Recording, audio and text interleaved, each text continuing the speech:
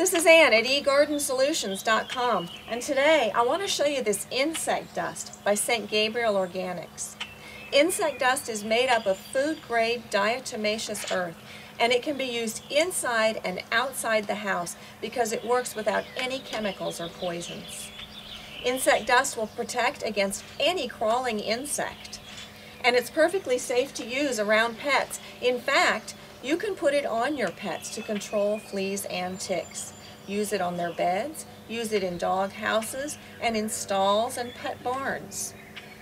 Diatomaceous earth is made up of fossilized ancient creatures and it has sharp microscopic edges that pierce an insect skeleton, but it just feels like dust to you and me, so it's safe to use. If you want a natural way to control insects around your home, use insect dust by St. Gabriel Organics. Until next time, this is Anne at eGardenSolutions.com.